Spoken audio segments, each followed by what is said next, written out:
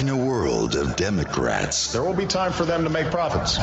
Now's not that time. And Republicans. I've abandoned free market principles to save the free market system. You need a voice of liberty.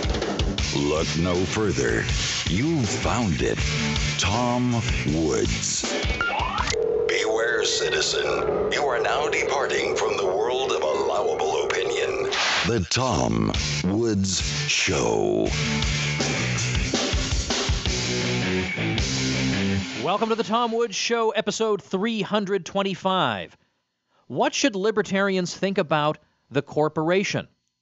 Is the corporation a creature of the state, or are the various corporate features features that would have evolved anyway on the free market spontaneously without any state involvement? Well, joining us today to help sort this out is Stephan Kinsella. Stephan is founder and executive editor of Libertarian Papers, and he's founder and director of the Center for the Study of Innovative Freedom. You may know him for his book Against Intellectual Property, and over on the show notes page, tomwoods.com slash 325, I'm linking to a whole bunch of things Stephan is involved in, and of course to his website, stephankinsella.com. Before we get to my conversation with Stephan, let me remind you guys I have a new book out Real Dissent A Libertarian Sets Fire to the Index Card of Allowable Opinion. If you enjoy this show, you will enjoy that book, I think. You can check it out at realdissent.com. And I actually narrate the audiobook, and you can get a free copy of that audiobook via Audible through the offer at tomwoodsaudio.com. All right, let's turn now to Stephan Kinsella and my conversation with him about corporations and libertarians. Let's talk about the corporation today. This is one of the topics as I look over the 320 something that I've done so far that I haven't hit on yet, but that I've been meaning to hit on because it is a subject of, uh, it's a bone of contention among libertarians.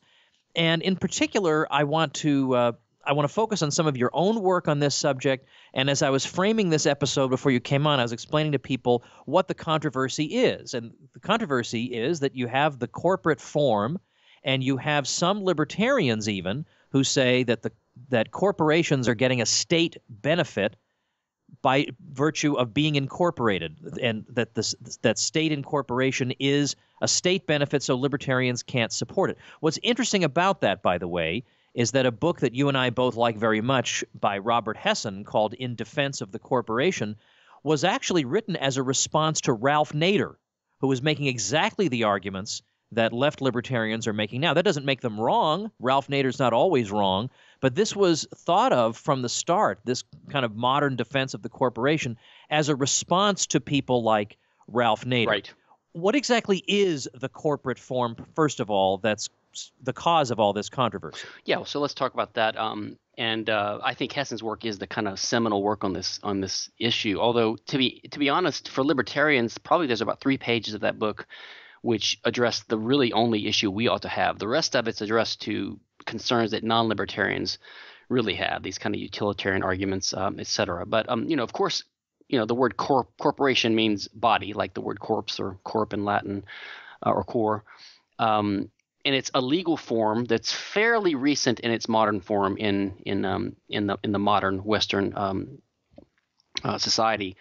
Uh, it's a it's a way of organizing a, a, firm or a business enterprise. Traditionally, in the past, you have individuals, which are persons, which we now call natural persons in the law, to distinguish them from uh, legal persons or civil persons, which are these artificial entities that have legal personality. Uh, the United States government is a form of corporation in a sense. All states are corporations because they have a legal personality. They are said to exist on that plane as, a, as an acting entity. Um, in private relationships, you know, individuals would have a business or they'd be employed or uh, have a shop and they're just an individual. If you owned a shop, you called yourself a sole proprietor. If you partnered up with someone because you needed more than one person, unless they were employees or family members, uh, you might have an, um, someone else who contributes capital and you all work together, and that's called a partnership. So you just partner together. But that's really nothing more than a private contractual arrangement. Um, under those types of legal arrangements uh, in the past, each partner would contribute a certain amount of capital or have a certain share of ownership of this corp- of this partnership, which was not a legal entity. It was just the way that these people arranged their affairs. Um, but if there was a debt owed by the partnership, like for a loan or even for some kind of tort, traditionally all the partners were held to be liable for the entire amount. There are many reasons for that. One of which was they wanted to hold themselves out that way so that they could um, have a good reputation. And also, a lot of times these were like family type businesses where there was honor involved and all this. Um, but sometimes they needed capital from someone who didn't want, really want to be too involved in the business. They just wanted to contribute some capital and have an ownership stake in it, but they didn't want to be liable for possible debts of the partnership. And so the the practice of limited liability partnerships arose. Okay, a limited liability partnership is one where there are two different types of partners. One, they're, they're general partners, which are the traditional type of partners who are each personally liable for all the debts of the entire partnership. And then there are limited liability partners who are only liable up to the amount of money that they invested in the partnership. So that was sort of the emerging model in early industrialism and capitalism. Um, and then the state stepped in and came up with something similar to that, which they called the corporation. So the corporation is similar in many ways to the limited liability partnership. Um, the state allows you to register a charter with the state and call it a corporation, and the shareholders, the people that invest capital, are not liable for the general liability of the corporation. Only the corporation and its assets are. And as part of that process, the corporation was deemed to have what's called entity status. It has our legal personality. So it is a legal person. So that's how the corporation arose. And the criticism by the, the libertarians is that they believe that when the state did this, it granted a privilege to the shareholders. It granted them immunity from general liability for debts of the corporation that they otherwise would have had in a free market, and therefore it's a privilege and ought to be abolished.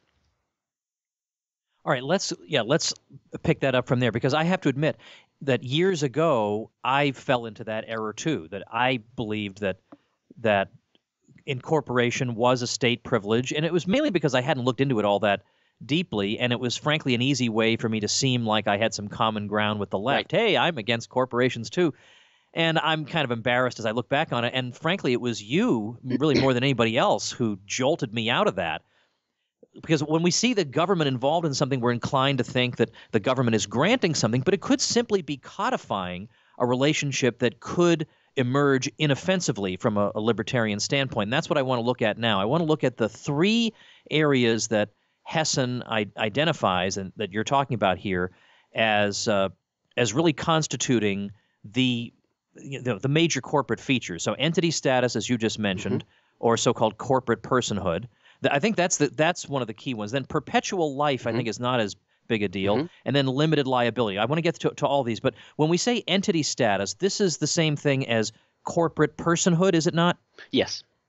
Okay, so this is this is a topic that that comes up quite a bit on the left too, because you see people chanting corporations aren't people. And I think they think they're making some kind of profound point here, but I think everybody knows that a corporation is not actually a human being.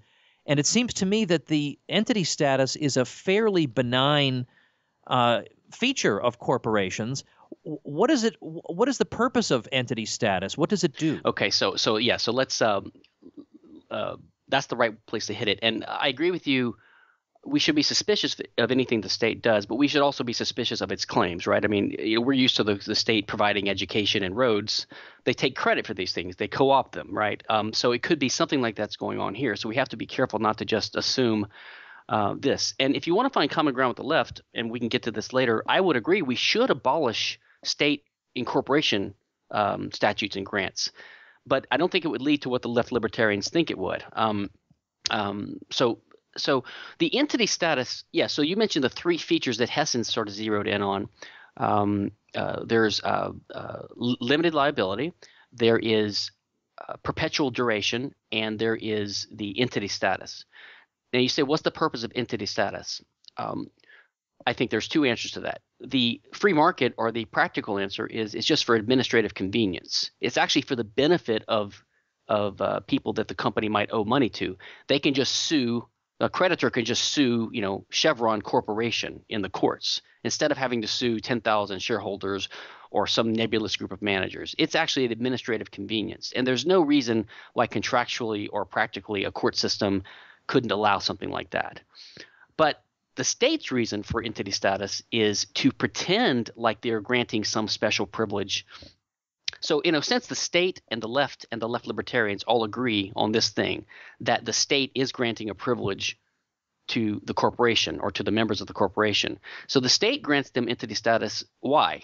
So they can say it's a privilege so that they can say, well, we're get, we don't have to give you this privilege, so we can condition it or we can ask for something in return. For example, corporate taxation, right? Double taxation or corporate regulations. I mean, you hear this kind of rhetoric all the time. Hey, we're giving you a privilege of entity status and limited liability, so you can't complain if we have corporate taxation or uh, capital gains taxation or regulations on what you do. Sarbanes-Oxley regulations, all these kinds of things. So basically, it's an excuse for the state to regulate companies. So if we remove if if we were able to see that you could achieve something like a corporation without this, the the the state's assistance just by pure private contract and, and private law then the state would have no excuse to tax the corporation. So i think it would be a good thing if we removed entity status um, but i don't think it would result in unlimited liability for shareholders. Um, and by the way, the perpetual duration thing I think is easy to dispose of, as Hessen does. You could easily arrange for some kind of arranged uh, group of uh, some kind of contractual network to live in, in, indefinitely because the members can be switched in and out, just like a neighborhood association or a restrictive covenant or a trust. Um, there's just no reason you couldn't just have private arrangements to make some some some so-called business firm last potentially forever or beyond the lifetime of its original um, founders. So, to my mind, the only sticking point for libertarians is limited liability. And for that, we have to look at two types of, of limited liability that is, two types of debts that the shareholders are protected from. And one would be contractual liability, like um, a debt to a creditor, someone who loans money to the firm, or someone to whom the firm owes money, like a, uh, a vendor and the other would be someone who doesn't have a contractual relationship with the firm but who is injured by some kind of negligent act by the firm. So for example um, a little old lady who is run over by a fedex truck okay? That's a tort committed by the driver of the truck. So then the question is who is she entitled to sue okay? So this is where we get into this question of limited liability. Right. Now with limited liability I would up until I read your stuff, I was more or less able to handle half the issue. Yes. I could I could handle half it. I could handle the, the part that says that uh, with that deals with debts yes. and say that and you know there's no reason that con, again contractually creditors couldn't just say we understand that in lending you this money we will not be able to go into the college funds of every shareholder to get it if you guys don't pay we're you know we're we're limited to the assets of the corporation or whatever. Like the, they would understand that and that and there would be a premium in the interest rate here reflecting the fact that they know that this is a limitation on how much they can grab in a case of default. So everybody could establish that purely voluntarily. Yes and i think the, the, the other way around too tom. If you want to um, loan money to a corporation and you insist that the um, that the the uh, some of the shareholders or some of the managers or some of the major shareholders you insist that they personally guarantee it which is done sometimes in very small corporations okay then those um, those uh, borrowers the corporate borrowers they're taking on more risk and they may insist on uh, you know better terms for themselves because of that so it's a it's a two-way street there Ah, okay. I, I hadn't actually thought of it that way. So, for example, but if you wanted I... to loan money to Exxon, right? Um, you don't you know you don't really need the CEO to be personally guarantee the loan because they have plenty of assets. But if you insist on that, they will just they'll turn you away and go to the next lender. So you would actually lose business. So it's a two-way street. Now, what about the case, the classic case of the delivery driver?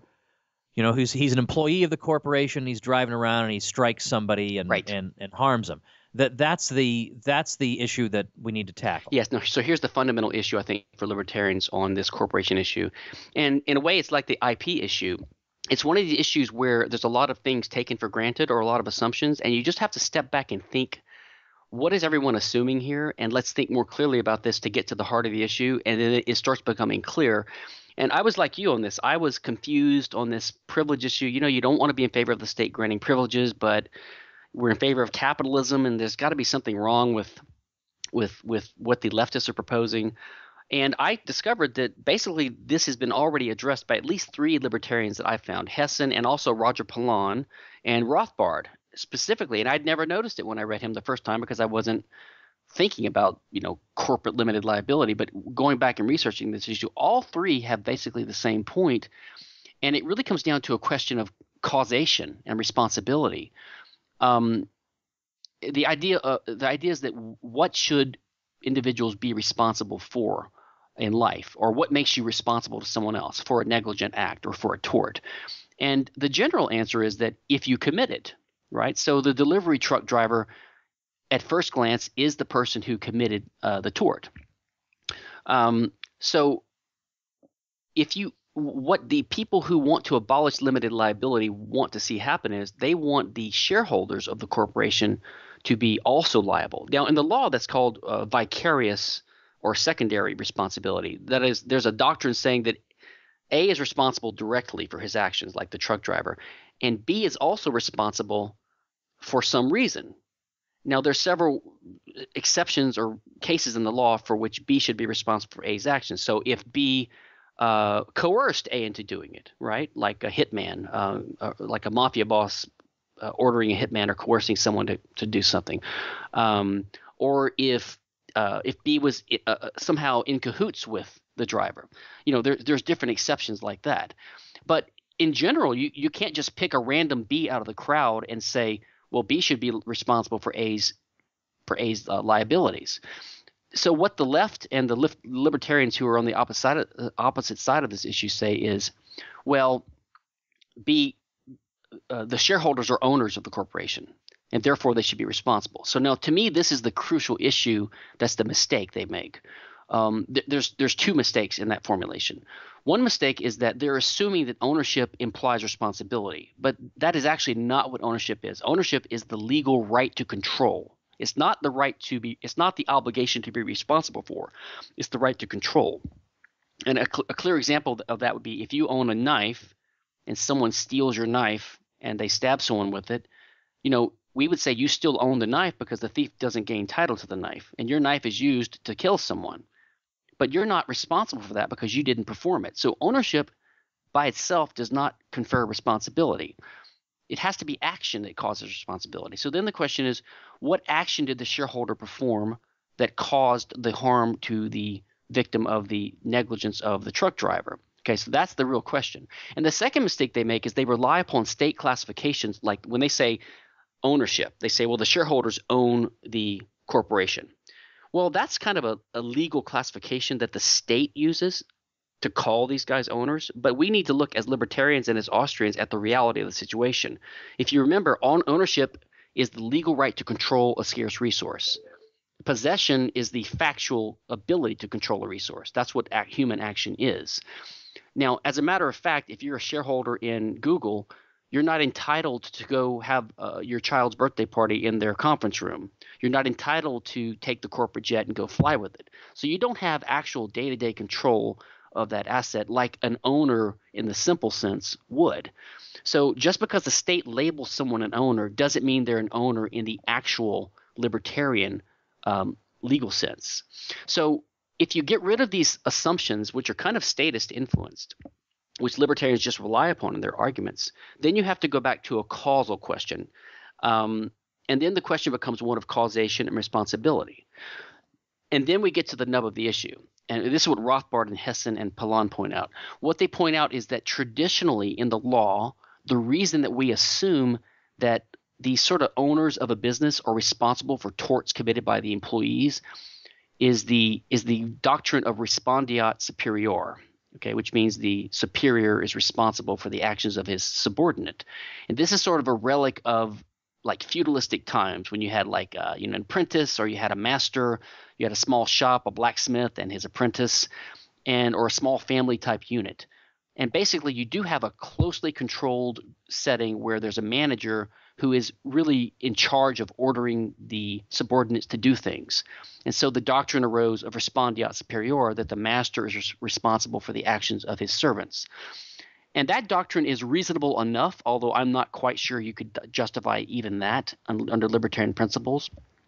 But let's assume that we, we could take that for granted that if there's a master controlling the actions of a subordinate, by, by which I mean giving orders, that we would say the master has some liability for what that servant does. Just as President Truman had liability for the bombs dropped over Nagasaki and Hiroshima because he gave an order to someone, right? Although that's a state setting, but still, you could say he's responsible. He's not off the hook just because someone else did it. You could see relationships and hierarchical structures where masters ought to be responsible for the actions of the servants that they direct. So the question is what kind of theory of causation could you come up with that would show that shareholders are in that position like the managers of the corporation are, right?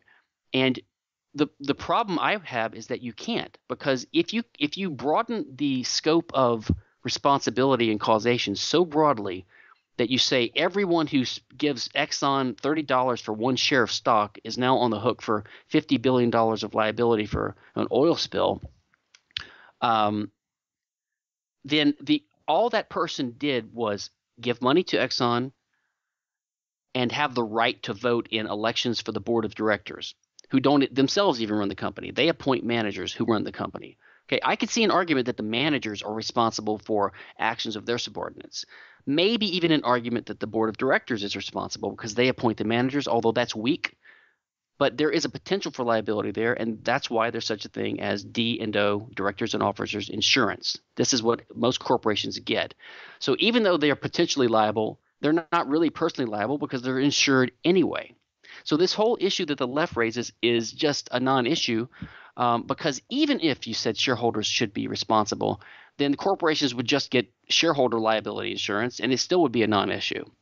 Um, they would still go on as before. I don't know if they'd call themselves corporations, um, but the point is, if you were to expand the net of causality and say that just because someone has the right to vote for the board of directors in a corporation, which means the right to influence the outcome of an election, then they're responsible.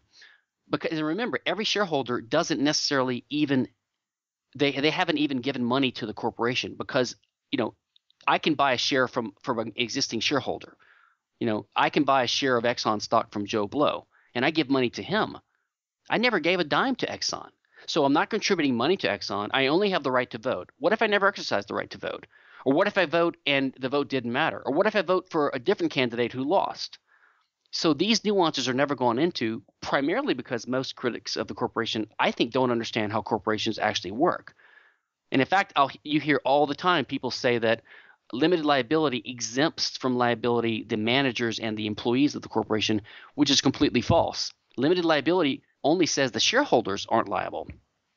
But in my view, and in Roger uh, and Pilon and Hessen's and Rothbard's view, they wouldn't be liable anyway in a free market. So that law does nothing. In fact, I think it's pretty difficult to sue a manager personally for a tort of a um, of, of a driver that he was responsible for supervising, although you could argue that he should be liable. So the, the state system actually exempts from liability people who wouldn't have liability anyway and it doesn't provide a, a remedy or a, a, cause of action against people that arguably should be liable. So the state theory is bad on the causation r- role in both directions. Well, let's uh, complicate things a bit uh, with the case of a truck driver who is reckless and a drunk, and the manager knows he's reckless and a drunk, but figures he's the cheapest guy to hire. Are you saying that there might be some some world in which that manager would be liable to some degree? Absolutely. I mean, I, I, I think this is this is one of these armchair libertarian issues where the whole field has been so corrupted by state interference that it's hard to see what really ought to develop over you know, with a nuanced kind of a private law, customary court decision process over time. But my feeling is that probably that manager would be liable. Although, as I said, he would probably have be covered by a type of D&O insurance. Now, that insurance would probably have exceptions for like uh, willful negligence or gross negligence.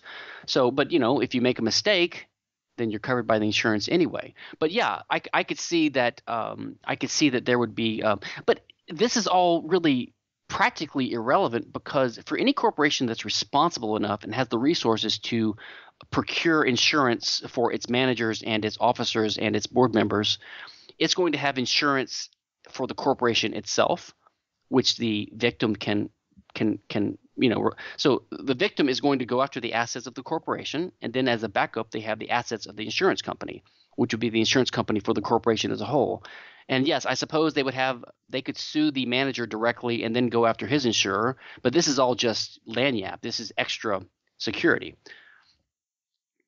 let me ask you. Uh, let's go back for a minute to the the debts question. Uh, I want to ask you if this is a legitimate analogy in your mind. Uh, suppose you have a some kind of grievance against a local church, like you're suing them for damages. You're su- what what you're able to get from them would be drawn from the assets held by that church. You would not be able to get into the pockets and the savings accounts of the parishioners of the congregation.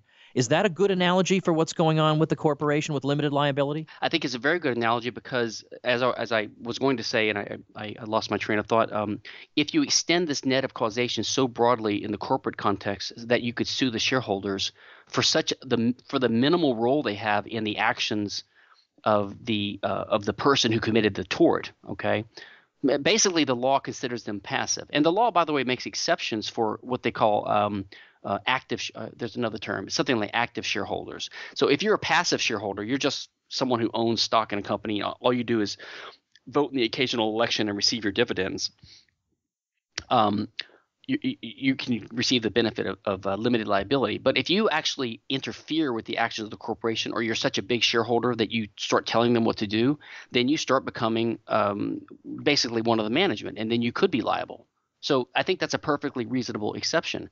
But my point is, if you hold a passive shareholder liable for the actions of the corporation, then you would also have to hold liable every other employee of the corporation, every vendor of the corporation, every customer of the corporation, because every one of them benefits the corporation in some way. You know, if, if I go to McDonald's and I buy a $30 meal for my family, I'm giving them $30. What's the difference if I buy a stock, a share of stock in McDonald's for thirty dollars, and I, or if I if I buy if I buy food from them, or if I supply food to them, or if I loan them money as a creditor? And in fact, a lot of lenders, like bank bank lenders, they request or they require official contractual input to board appointments and how the companies run. Believe me, a lot of companies that have uh, large lenders they listen to what those lenders say. Those lenders are a lot more influential on the policies and the direction the corporation takes than some little shareholder. So the point is, if you have this kind of theory, this broad theory of causation and responsibility, you have one medium-sized corporation, you have 10,000 people that are all liable for its for its debts. Not just the shareholders, but its customers, its vendors, every employee, all the union workers, all the janitors, everyone and this is clearly absurd. so right. And by the same token, I think that's why your analogy is apt. The parishioners of a church are not really the owners of the assets. I don't think in most cases, right? It's probably some kind of nonprofit trust or something like that. Something someone, something someone owns that, the church, presumably. right? Yeah, I would think so. That's why I, I heard that analogy, and I can't now remember where, but it seemed to make sense because I've never heard of anybody complaining that you can't get at the assets of a member of the congregation. I've never heard any complaint to, to that uh, that that way, but, But- it would seem that if you're making this complaint about corporations, you should make that Yeah. complaint. So the pro- the problem is if you if you bring this point up, then the libertarian will say, but the shareholders are owners. So then they will go back to the state classification system, and they will I they see. will rely upon the state's own classification system. I mean, what if the state just used a different word? What if the state said, here's a shareholder who is a person that has the right to receive dividends, that has the right to vote for board of director elections, and that has the right to receive a pro rata share of the assets of the of this entity upon a, a liquidation event. That's what they are. In other words, they didn't have to call them an owner because they're not really an owner of the assets. They have certain contractually specified rights, just as creditors do, just as vendors do, just as employees do, just as suppliers do, just as, as, as, you know, uh, anyone that the corporation interacts with does. Well, Stephan, I appreciate your time and really in, in helping to clear this up, an issue that, as I say, made me stumble early on as a libertarian. And in the show notes page for this episode, I'm going to make sure and link to uh, quite a number of your writings on this subject so people can get more information. I'll link to the Hessen book. It's probably out of print, but I bet there are some used copies out there here and there. The show notes page will be tomwoods.com slash 325. And of course, we will link to stephankinsella.com. We'll link to you on Twitter people can hook up with you in all kinds of ways uh, as a result of this uh, episode. Thanks so much for your time today. Thank you very much, Tom. All right, everybody, that's the show for today. I am heading to the airport so that I can speak in Houston tomorrow at the Mises Circle event. So this episode is going to be going up uh, probably late tonight when I'm back at the hotel. So you late night people, you'll get to hear this episode first. Make sure and subscribe to the show because we give you a dose of liberty education Monday through Friday. You can do that over at tomwoods.com. Remember the show notes page, tomwoods.com slash 325. And remember, finally, libertyclassroom.com. Get a discount over there using coupon code SHOW in all caps. We've already got 12 courses where you can learn the history and economics they didn't teach you from faculty members you can trust, including me, by the way and many other fun features with more courses to come. We'll have a link to that also on the show notes page, tomwoods.com slash 325, or just libertyclassroom.com. See you next week, everybody. Thanks for listening. The Tom Woods Show.